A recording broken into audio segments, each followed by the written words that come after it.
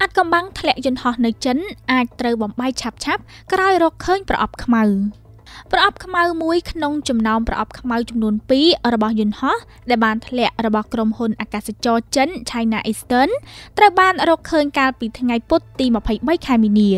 ក្រុមអ្នកស៊ើបអង្កេតកំពុងព្យាយាមផ្ដុំគ្នានៅព័ត៌មានដើម្បីដឹងពីមូលហេតុអ្វីដែលបានធ្វើឲ្យយន្តហោះដឹកអ្នកដំណើរ132នាក់ធ្លាក់ចូលទៅក្នុងភ្នំមួយនៅភាគខាងត្បូងប្រទេសចិនមូលហេតុនៃគ្រោះមហន្តរាយនេះ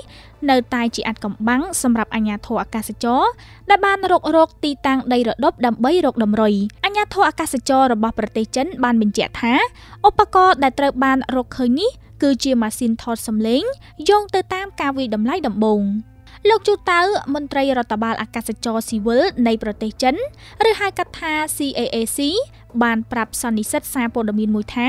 ប្រដាប់ផ្ទុកទិន្នន័យនៅក្នុងប្រអប់ខ្មៅមានលក្ខណៈពេញលេញទោះបីជាមានការខូចខាតខ្លះក៏ដោយប្រអប់ខ្មៅកំពុងត្រូវបានបញ្ជូនទៅទីក្រុងប៉េកាំងទូរទស្សន៍រដ្ឋបានបង្ហាញអ្នកជួយសង្គ្រោះយកប្រអប់ពណ៌ទឹកក្រូចភ្លឺមកដាក់ក្នុងថង់ប្លាស្ទិកថ្លាចឹងហោះហើរ MU 5735 បានកំពុងធ្វើដំណើរពីទីក្រុងគុនមីងភាគនិរតីទៅកាន់ទីក្រុងខ្វាងជូវ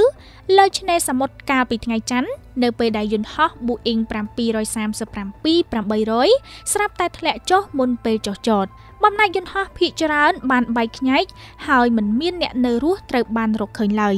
មូលហេតុនៃការធ្លាក់យន្តហោះនេះមិនទាន់ត្រូវបានកំណត់នៅឡើយទេ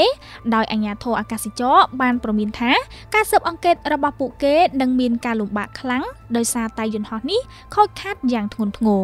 អាកាសធាតុនៅតាមបណ្ដោយផ្លូវហោះហើរកាលពីថ្ងៃច័ន្ទទី21ខែមីនាមិនបង្កគ្រោះថ្នាក់ណាមួយដល់យន្តហោះនោះទេហើយអ្នកត្រួតពិនិត្យផ្លូវអាកាសបានរក្សាការទំនាក់ទំនងជាមួយវា បន្ទាប់ពីការហោះហើររបស់វា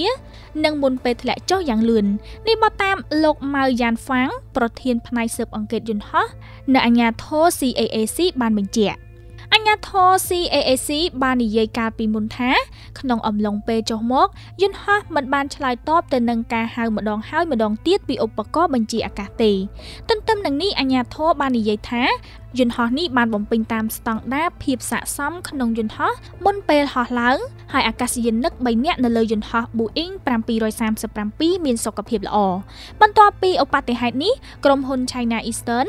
និងក្រុមហ៊ុនបុតសម្ព័ន្ធចំនួន2ផ្សេងទៀតបានបញ្ឈប់ការហោះហើររបស់យន្តហោះ Boeing 737-800ជាង200គ្រឿងរបស់ពួកគេ។